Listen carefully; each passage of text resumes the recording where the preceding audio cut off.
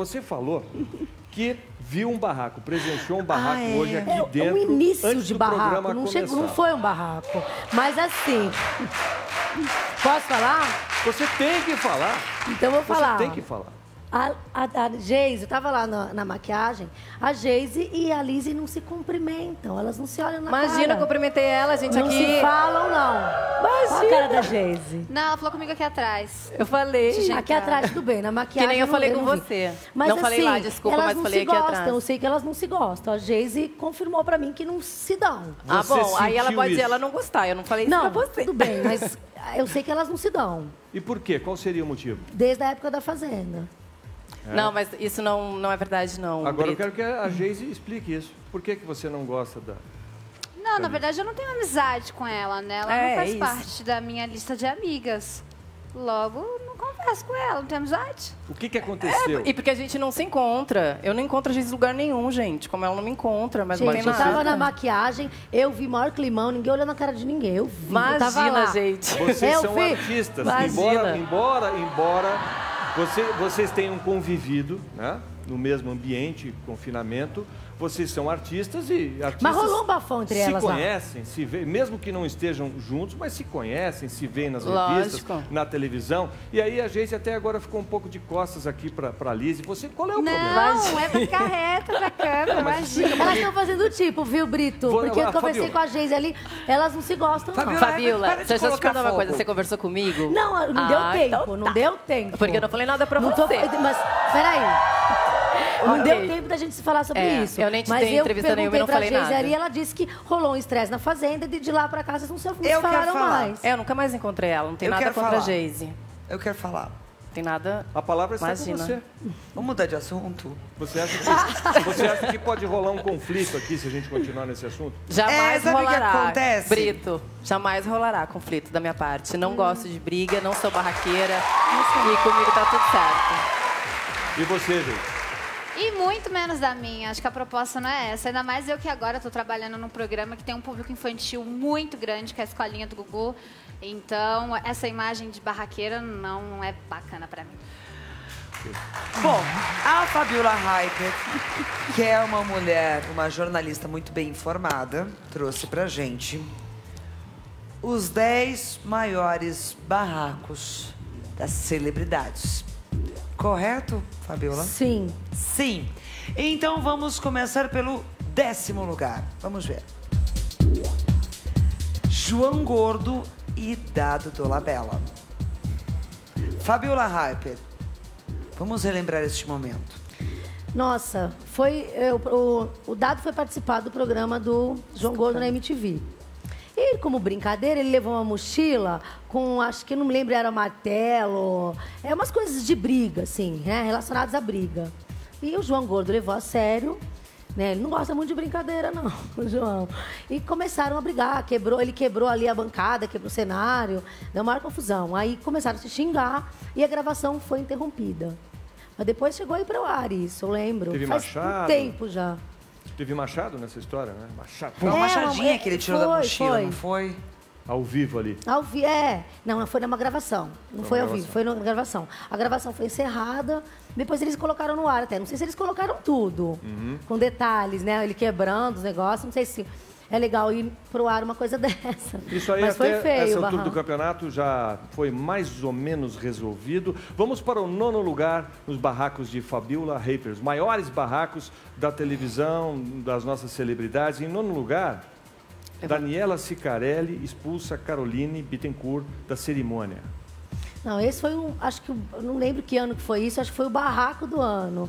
A Cicarelli casando com o Ronaldo, num castelo na França. No castelo de Chantilly. Chantilly, né? Aquela coisa toda, aquela coisa é, chique. Quando ela viu a Caroline Bittencourt entrando, com Álvaro Garneiro na época, fez a menina, mandou a menina expulsa. Falou, ah, ela vai embora, pegou segurança, mandou sair. Isso, mas era uma briga antiga das duas por causa de homem. Algum namoraram o mesmo cara, e aquela coisinha, coisa de mulher que fica com ciúminho. E aí expulsou a menina de lá. Foi um, mega barraco, barraco no castelo. Foi barraco no castelo. Aí depois, agora, depois que a Cicarelli casou de novo, o pessoal ficou tirando sarro, né? Daquela vez casou no castelo, agora casou no, no salão do prédio. A maldade, olha a Ah, maldade. isso foi maldade. Realmente, isso é maldade. Muita maldade. É muito veneno, é muito veneno. E você ri, dá risada disso, né, Ah, André, quem não gosta de uma maldade? né? Ela gosta. Vamos ao oitavo barraco. Gente, Rita Lee. O que foi que aconteceu nesse barraco da Rita Lee, Fabiola? Então, a Rita Lee estava fazendo um show e tinha um povo fumando baseado. Aí começou aquela confusão toda da polícia. Ela simplesmente pegou no microfone e começou a falar: qual o problema que tem um baseadinho aqui? Me dá aqui que eu vou fumar também. É meu, era um show de despedida dela.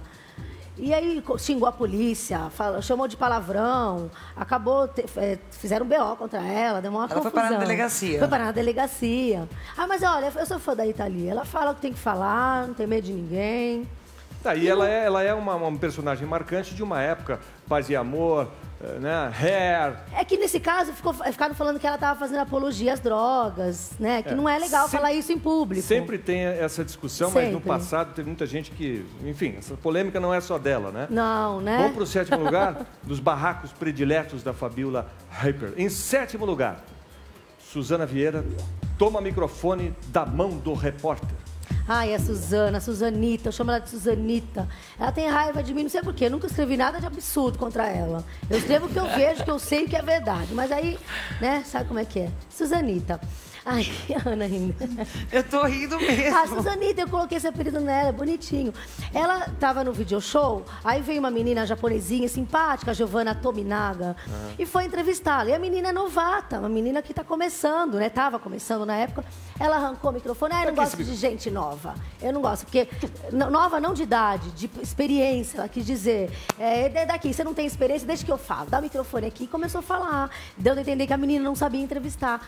De repente, na época, menina nem sabia muito mesmo, estava aprendendo. Agora ela está mais experiente, mas é a Suzana Vieira e suas gentilezas, que a gente conhece muito bem. É, o estilo. Às vezes não foi por maldade mesmo, né? Mas é que ela não é muito, lá muito gentil, não. Bom, vamos para o sexto barraco. Dessa vez envolve uma família. Vamos ver de quem é. O Naldo com a mulher moranguinho. O que foi que aconteceu? Então, isso foi mais uma briga de Twitter, né? O filho do Naldo, é, que é um menino de 12 anos, eu tô até lendo aqui para eu não esquecer. Ele escreveu o seguinte, que ele tá- começou a xingar a mulher, é, Moranguinho, inclusive chamou de vagabunda. Dizendo para defender a mãe dele. Para dizer assim, ela é uma recalcada, sai de São Paulo para comprar roupa onde a minha mãe compra, disse o menino. Sempre ficou com raiva. Foi, ficou com meu pai tá com ciúmes. outra agora, é uma mulher que eh, vive do corpo. Aí acaba, acaba ficando com ciúme. Chamou a mulher, xingou a, a a moça à toa, entendeu? Porque não é porque ela vive do corpo, porque ela é vagabunda. É E ficou com ciúme da, pra defender a mãe, né? Foi Como coisa é que de... foi um momento de, de ciúmes mesmo, de garoto com a mulher Mas foi um barraco, né, na época. Ah, na época quando aconteceu, com certeza. Mas hoje o relacionamento do Naldo Sim. com a Moranguinho tá super estável. É, cada um Sim, tem sim. sempre a sua visão, e aí no conflito. É, e filho sempre barracos. complicado. Quando vê que os pais se separam, acabam ficando magoados. Em quinto lugar, os barracos. No ranking dos barracos de Fabiola Hyper, tem veneno escorrendo aqui por esse. Por esse palco Tá aqui. Brito? Em quinto lugar, eu tô adorando. Cadu Moliterno agride a mulher. Isso. Então, esse aí foi muito feio também. Ele, o Aquador Moliterno, o ator, foi, foi acusado de bater na ex-mulher dele, a Ingrid, e ela registrou queixa. A história foi que ela disse, né? Ela afirmou que durante uma discussão no carro ele deu dois socos nela. E que, além. Isso foi o dia que ela foi lá prestar queixa. A- antes disso, ele já havia agredido Nossa, olha a imagem. outras vezes. Nossa. É, com certeza não foi carinho, né? Não. Foram os dois socos. E antes disso, ela disse que ele já havia batido outras vezes. É aquela coisa, né? Até a mulher que dá coragem de ir lá e denunciar, depois acaba perdoando, acaba desculpando. Dessa vez aí, ó, não teve jeito. Ela foi e denunciou. Lei Maria da Penha. Lei Maria Pois da é, Penha. existe a Lei Maria da Penha. Quarto lugar, Valcir Carrasco versus Rita Guedes. O que foi que aconteceu entre esta dupla? Deixa eu achar aqui as anotações. É, então, eles trocaram farpas no Twitter também, sempre o Twitter, né? Twitter é o palco das, da discórdia. Ele, ele disse que ela estava se oferecendo para fazer uma novela dele. E aí? E ela não gostou nem um pouco. Mas ele disse que a bronca, a bronca que ele tem dela, foi porque numa, numa época ela estava fazendo uma, ensaiando para uma peça dele e largou o ensaio uma semana antes, falando que ia para os Estados Unidos. Falta de profissionalismo, ele tem razão. Deixou ele na o Valcir Carrasco é conhecido por não ser uma pessoa muito amigável, vamos dizer. Ele é bem crenqueiro, mas tem as suas razões muitas vezes, como nesse caso. Agora, às vezes ser encrenqueiro também não significa, às vezes, ser exigente? É claro. Nesse caso, eu acho que ele foi mais exigente do que encrenqueiro. Não pode abandonar uma peça assim há uma semana. Tem um monte de gente envolvida, um monte de profissionais. Falta de profissionalismo. A não É, ser que seja falta- um, um motivo muito sério. É falta de respeito com os Respeito, outros profissionais. claro. né? Em terceiro lugar nesse ranking dos barracos de Fabiola Reiper, a venenosa, Bruno Mazeu, Detona Ai. Famosos. Peraí, o Bruno, Bra- olha, o Bruno Mazeu tem uma lista aqui, ele vive arrumando confusão. A mais recente dele foi com o Roger, do Traje a Rigor, que ele disse o seguinte, eu fico pensando, ele escreveu no, no Facebook isso. Ele escreveu, fico pensando no Traje a Rigor, uma das bandas preferidas da minha juventude, vivendo um fim de carreira dramático. É sacanagem, porque o, de- o Traje Rigor não tá em fim de carreira. Eu gosto deles. Eu também. Nossa, eu tinha vinil, lembra? Eu tinha. tempo. eu sempre gostei do Traje Rigor, da minha época, anos 80. Aí o, o, o Roger, claro, né, não gostou, foi lá e respondeu. Coisa feia, Bruninho, confundir uma coisa com outra. Eu nunca te dei motivo para você ser babaca comigo. A menos que você não possa evitar. Sempre te, te tratei com respeito e consideração.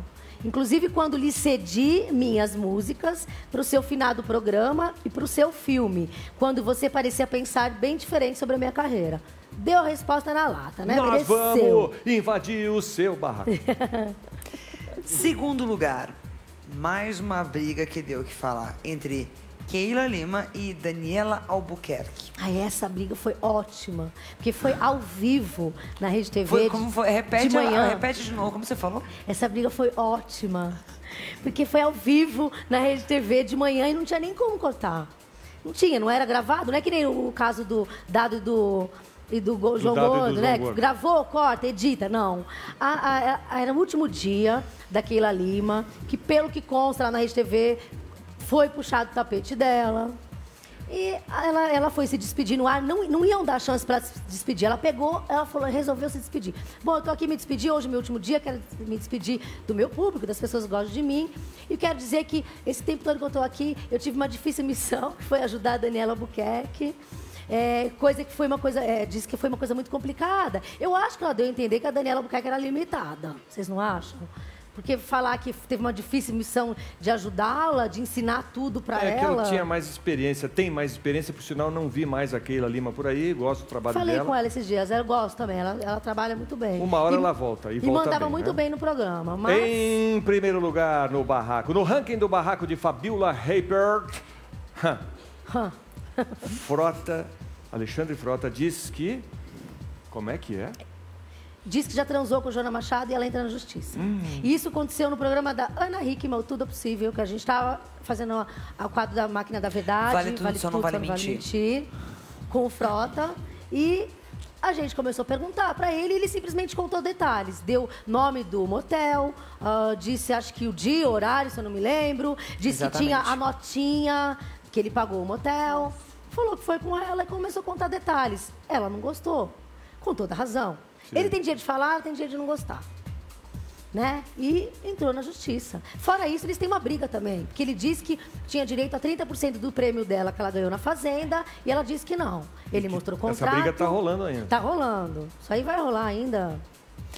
Pois é, É o uma mundo, relação de amor e ódio, né? o mundo das celebridades tem os seus altos e baixos, existem algumas brigas, algumas discussões, mas o que a gente quer aqui sempre é ficar bem informado.